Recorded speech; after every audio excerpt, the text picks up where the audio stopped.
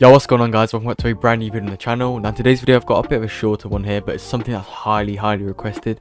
Today I'm going to be showing you all the different steps and tips that I do to make my videos look as clean and as crisp as possible. So if you would like to make your videos look a lot higher quality and just a lot smoother, then make sure to watch the whole video all the way through. I'm going to be showing you my render settings, my project settings, and also what I add to my clips to make them look a lot better. So yeah, make sure to stick around, watch the whole video all the way through for that because you do not want to miss out on anything super important. Before the video starts guys, please can you do me a super quick favour by just dropping a like and subscribing to the channel with post notifications on. It literally takes about 2 seconds every day but really does mean a lot to me so I do really appreciate that. And if you would like to support me even further, you can use code TARO in the item shop. That also means so much to me you don't understand. But yeah guys, let's get straight into the video. Right guys, so the first thing I'm going to be showing you which you really do need to do in order to get the best possible quality for your videos is copy my project and render settings. So the first thing you want to go ahead and do is go to this little cog up here, go to the settings, then you just want to go ahead and copy all of these right here.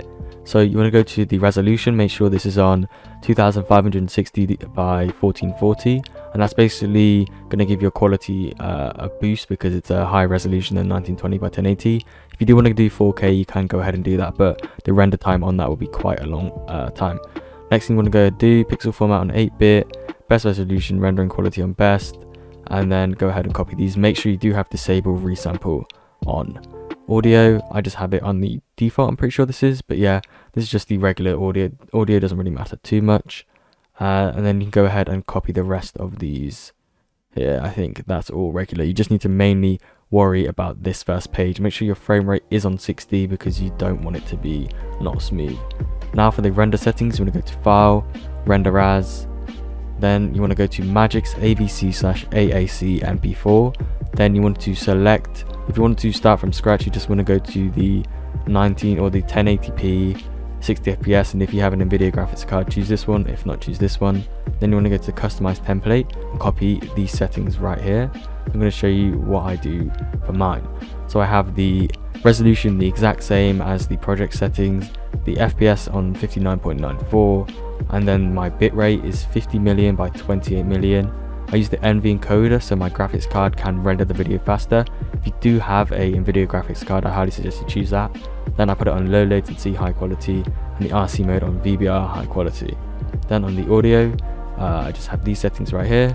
System, I don't think you have to worry about this too much. On the project, make sure you have the video rendering quality on best and the stereoscopic 3D mode on uh, use the project settings. And yeah, that right there is basically my project and render settings. Now let's get on to some things you can add to the clip to just make it look a lot nicer. Okay guys, so one thing that you may have heard of before and I highly suggest you use is RSMB. Now it does increase your render times but I'm going to show you a way that you can actually make it so it doesn't take too long. So link below, I'm going to have a video on exactly how to get the GPU accelerated RSMB. Now this is basically an RSMB that uses your graphics card to render it a lot faster and I'm going to be showing you the best possible settings to make your videos look so so smooth and clean. So just want to go ahead and got uh, put the RSMB on, it could be the default version.